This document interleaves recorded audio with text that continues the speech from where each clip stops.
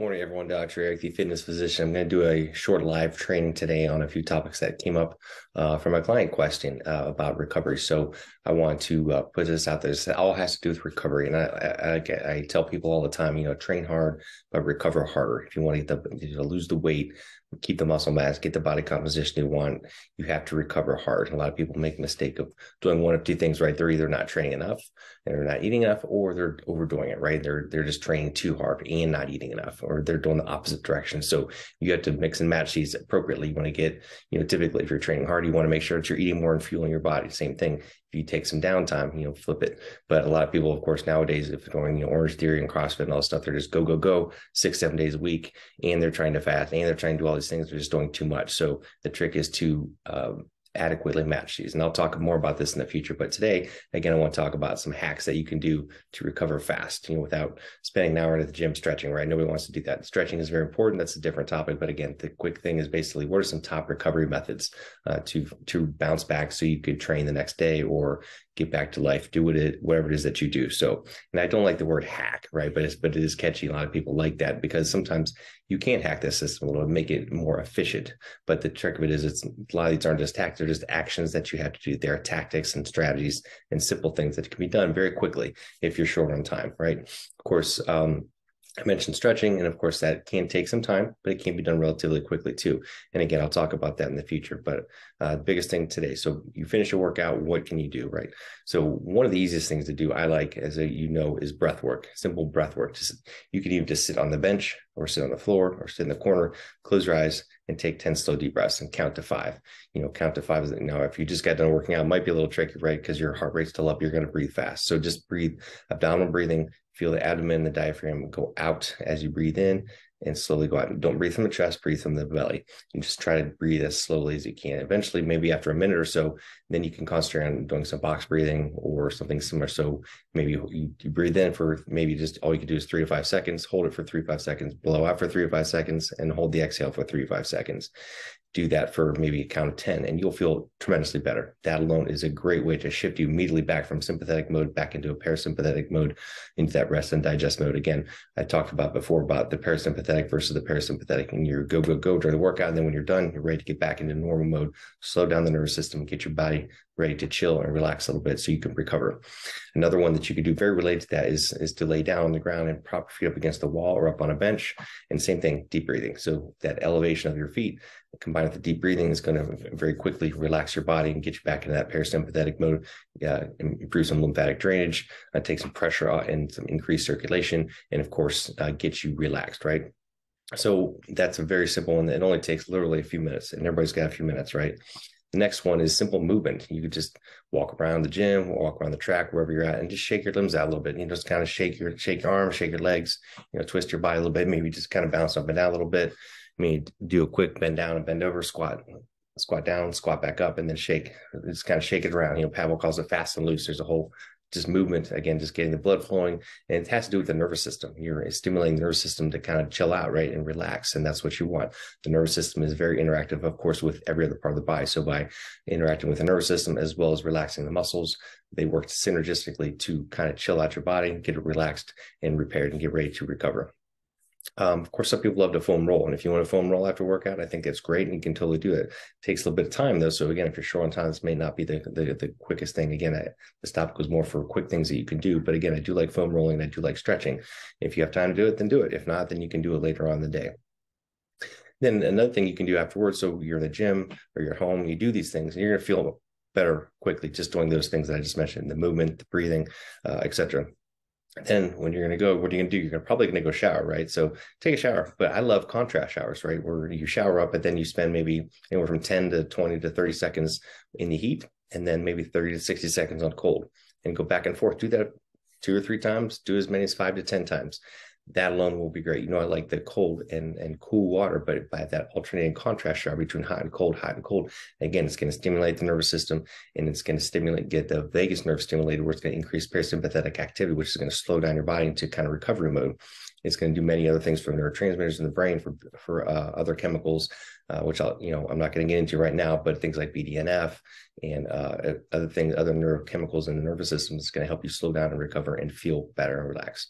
Now, if you don't like to do that, or if you just, again, you know, people think, oh my gosh, it's going to take a few extra minutes. Well, everybody's got a few minutes, but at the least end it with a cold shower, right? The last 10 to 20, 30 seconds, put it on a cold shower as cold as you can tolerate. I know a lot of people, when I tell this, they're thinking, oh my gosh, I can't do that, but just make it cool. And then after a number of times, you'll be able to make it colder and colder and colder. Eventually, you'll be able to make it cold, as cold as you want, and then stand there for, again, as long as you can. Some people do it for several minutes, but at least do it for 30 to 60 seconds. And again, you're going to stimulate the brain. You're going to get that dopamine response, that dopamine surge in your body. And those feel good chemicals, the endorphins are going to ru- uh, rush through and again, make you feel better. And again, that speed up that recovery process. So I love a cold shower, cold plunge, wash, you know, if nothing else, at least splash your face with cold water if you can't tolerate that, right?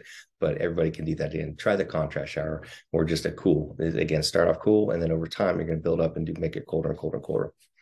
Now, some bonuses, other things you can do either right away or later on the day, um, just movement, right? Simple walking, Tai Chi, yoga, things like this. I love just walking at the end of the day when you're, when you're done with your workout, go take a walk around the block or walk around the gym and just do a short little walk. It's just it's a good way to kind of do a walking meditation, get the lymphatic flow, get the nervous system uh, um, calm down, like we talked about as well. And then you can go back and do the shower and the, and the uh, contrast shower, etc.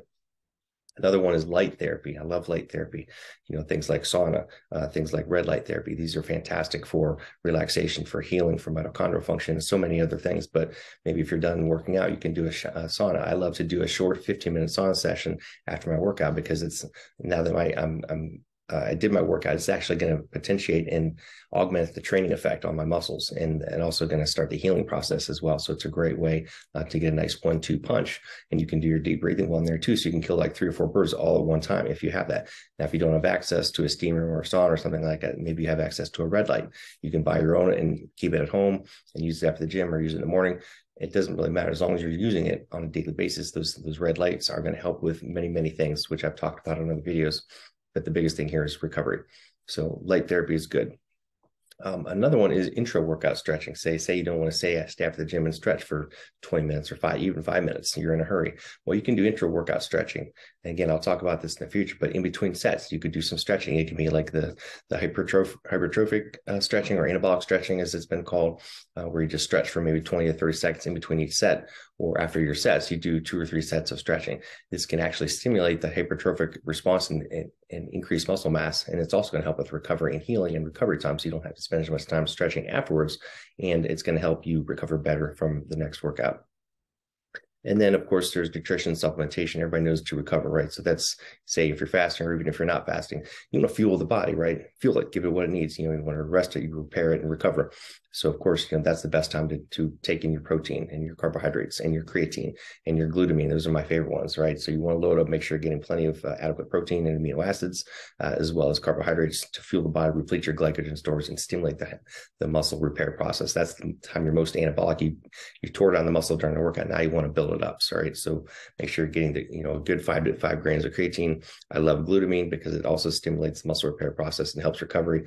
It also helps your body stimulate uh, glutathione production and again, loaded, that's the time you want to have some carbohydrates again to fuel those glycogen reserves and help with a little bit of insulin secretion, which is going to stimulate the muscle repair, muscle building process. Um, of course, that again, right away, or certainly that evening, I'm a big, big fan of magnesium, especially at night to help us sleep. But magnesium is often depleted in most of us, especially post workout. So you want to re- replete your magnesium reserves with magnesium. You can use magnesium spray at night. It is absorbed very well through the skin, or just take some magnesium supplements. It's a great way to re- help your body recover, replete those ATP stores, help your body uh, stimulate hormone production, recover uh, in terms of musculoskeletal soreness, and of course, reduce, uh, the rebuilding process and the rehealing process. Another cool little hack I learned from a friend of mine, uh, Joel, is that you can take fucoidan and some coconut oil, maybe six to eight hours post workout. That's also going to help stimulate the, the muscle to repair and quote unquote stay young, right? It's going to build that those repair those tissues and it's going to reduce some inflammatory cytokines to initiate the, and potentiate that healing process. So you can get fucoidan over over the counter, uh, simple supplement. Make sure you get a good brand and take with uh, maybe just a teaspoon or so of, of uh, coconut oil. And then that's going to help also to stimulate the muscle repair process and keep your muscles strong, young, and limber. So there's some very simple hacks that you can do uh, that do not take much time at all. Very simple to do. Then, of course, again, if you do have time to do other things like stretching, uh, sitting in the sauna or the, the steam bath or something like that, totally fine. And you can stretch during the workout, after the workout, or later on that day. But these are some things you can do very quick. Again, just you know, lay down, do some deep breathing. If you have some time to do some movement, some stretching, some shaking things out, walking around, and then of course throwing sauna, light therapy, uh, and uh, very simple supplementation. Very simple to do, and you're going to feel a difference. Make sure you take time. Remember, train hard, recover harder. So if you have any questions, reach out. Uh, let me know. Everyone have an awesome day, and we will talk to you soon. Bye.